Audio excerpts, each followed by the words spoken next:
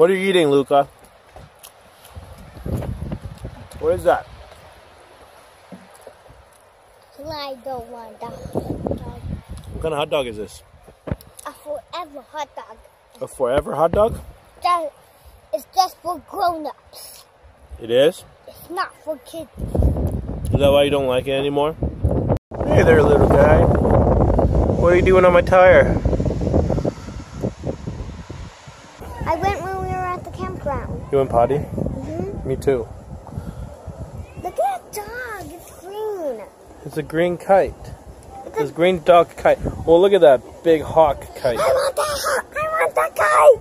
I want that kite. The kite's pretty awesome. Give me that guy. You want to do that thing? Right Yeah. You did it before. Right there. Right there. there.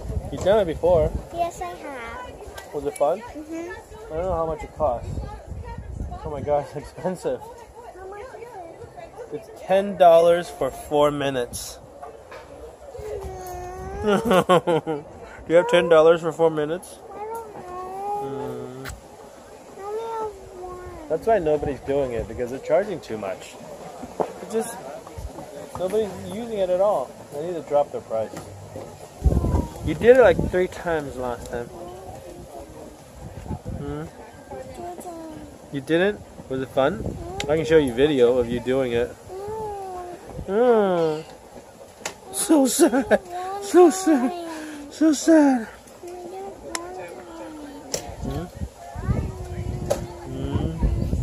You want a spoon or you want a flurry?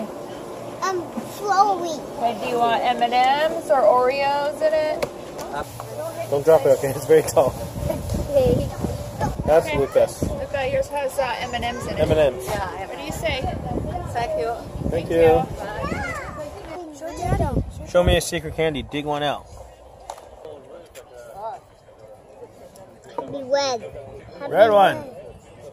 The blue and red and green. No? Where are they? Oh, oh, Don't spit it out. there it is. Okay, eat it. Ew. The only thing they have that's my size are these yellow ones. Not into these, huh? No disgusting feelings. These are no good. These top siders are no good. that's a no good. Okay. People here. We just heard that there are eight sites left at the campground at Cavendish in the national park if we want to get in there. So we're only a couple miles away. We're busting out of this boardwalk place and going over there. Is there a site open next to them? I feel like you and Tell me So there's three total for two nights. Okay. That's eight. Waterfront tent sites. Oh, we're pretty close to waterfront tent site. We're just off to the side. D95 is our jam. Oh, we do have plugs. Oh, we do? Yeah. So it should be across the street behind you somewhere. Somewhere. I, s- I, Yeah, we're right Oh, there. there. I uh, texted you, but you didn't get back to me in time. Oh yeah, Oh. there we noted. Let's go set up. So we're not going to really set up because we might go back into town. Okay. I don't know. Is there anything to do there? Went to the boardwalk Um, and then yeah, cheese. Yeah. Just t-shirt straps. Got my spare flip flops. One of them was missing. Turns out it was under my seat. It's really windy and gusty here. It was really windy at the last campsite too, so I apologize for all the wind noise because I'm just shooting this on my phone. I don't really have a way of putting a windscreen on it, but I'll try to think of something. I mean, look at that. They're going to be pretty upset when they come back and find their their tent basically a disaster zone. Let's go check out the water.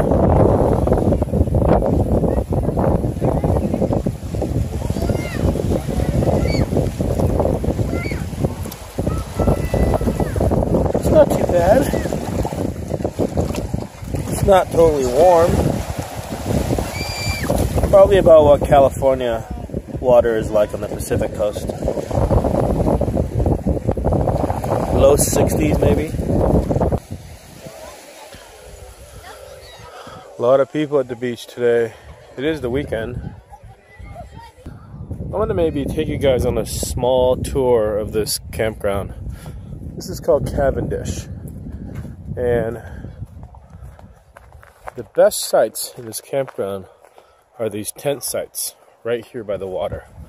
So basically right where we were, where the beach is, that's right below the other side of these campsites. And the RV sites are going to be over on the other side. We didn't have any reservations, so we just took what they had, which turns out to be a pretty good site. Just around the corner from the waterfront sites by the beach. So once you walk further away from the beach, you get closer towards the trees. That's where the RV sites are. And because of the trees, these sites are uh, a lot better when it comes to wind.